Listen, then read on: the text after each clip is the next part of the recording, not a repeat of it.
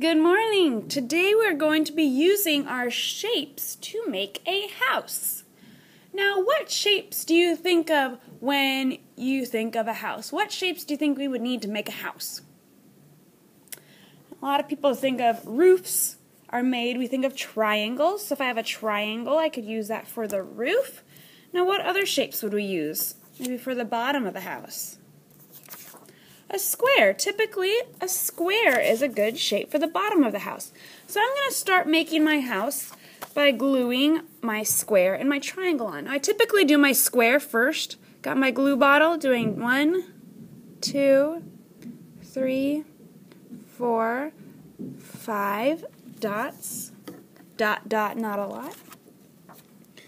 Now you can place it like this, or you can make it a tall ways. I'm going to go like right here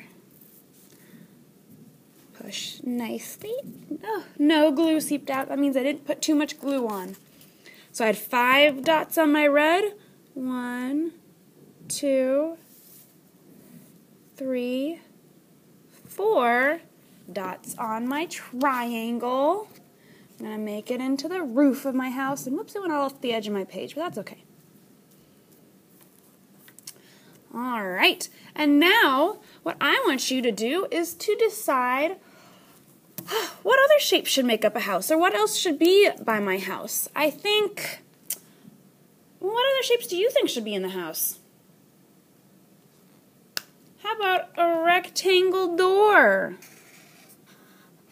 All of our doors are rectangle shapes. So I could color my door. Maybe leave a doorknob.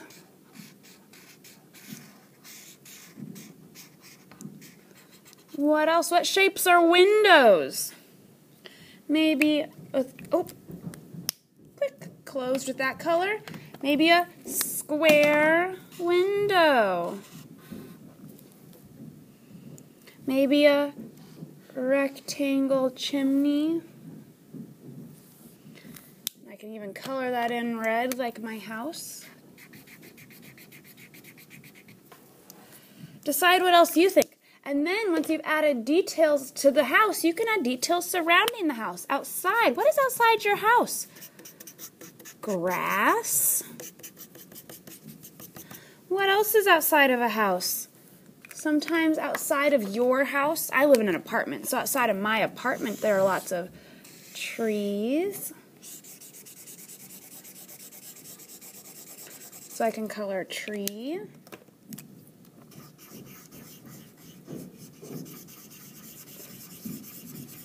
Animals, somebody has said. So maybe I can draw a butterfly or a ladybug.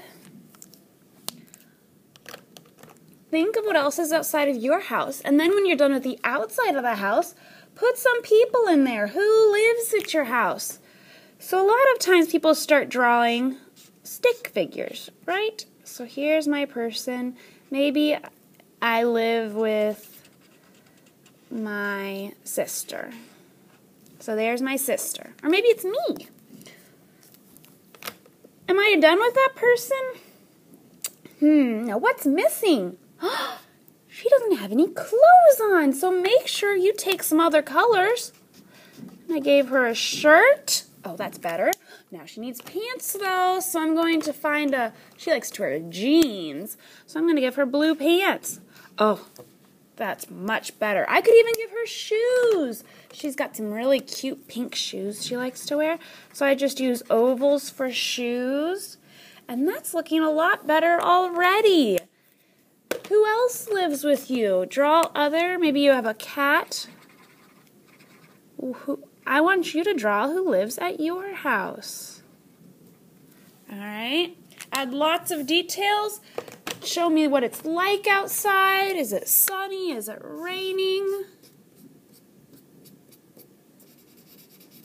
Your turn to decorate your house. Get started. I'm excited to see what happens. Remember, dot, dot, not a lot. Close this when you're done. Bing. Snap your lids. Click. And Write your name on the back.